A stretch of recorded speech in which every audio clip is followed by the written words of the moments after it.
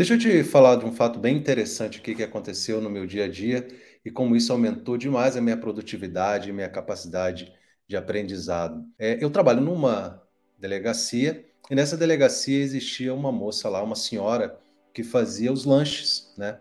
Ela produzia os lanches lá e vendia nos intervalos lá. Muito bem.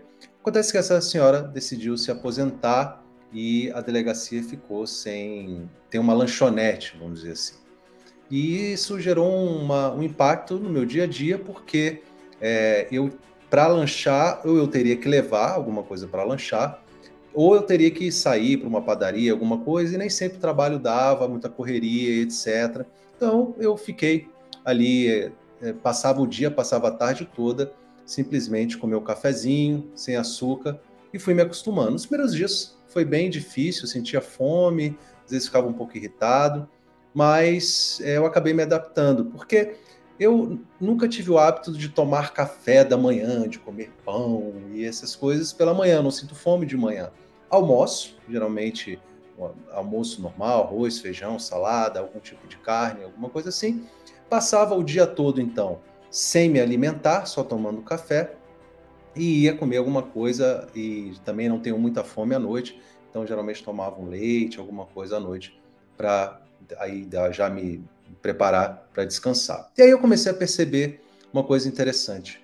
Comecei a perceber que, primeiro, eu me adaptei a esse jejum forçado e eu comecei a me sentir mais produtivo, me sentir mais alerta durante o dia. E também uma coisa interessante, eu naturalmente emagreci, perdi peso, porque também já estava fazendo atividade física, isso tudo é, se uniu para garantir que eu regulasse o meu peso. Não fiquei exatamente magro, mas é, eu consegui regular o meu peso. Olha que interessante. E aí eu fui é, pesquisar sobre isso. O que estava acontecendo? Por que, que eu estava me sentindo assim? Porque os dias que eu comia mais, eu me sentia menos produtivo, né? principalmente quando eu lanchava à tarde, porque eu me sentia menos produtivo.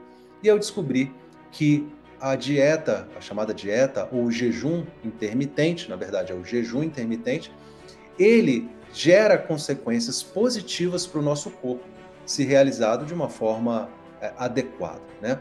Então, o que, que acontece? Como eu fazia esse jejum forçado, eu já não comia pela manhã, almoçava e ficava aí algumas horas sem comer, e aí só ia comer alguma coisa muito leve quando comia à noite, é, eu acabei criando um novo combustível para o meu corpo.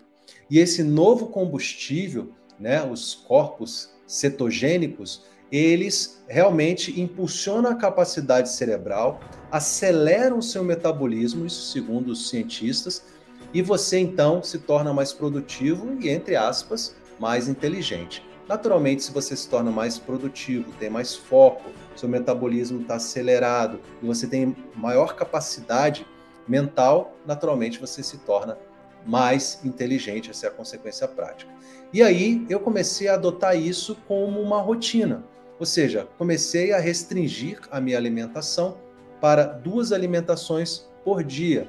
Eu bebo bastante café, né? Não sei se isso é correto ou não, mas eu tomo bastante café, mas também substituí um pouco o café pelo chá.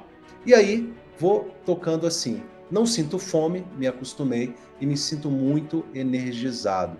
Então, eu acho bastante interessante você pesquisar sobre isso, conversar com seu médico, com seu nutricionista sobre isso, porque eu tenho certeza que isso vai te gerar bons resultados, tem gerado para mim e o jejum intermitente realmente tem sido um diferencial na minha vida. Equilibrei o peso e me sinto muito mais motivado, me sinto muito mais energizado para fazer as minhas atividades. Tudo bem?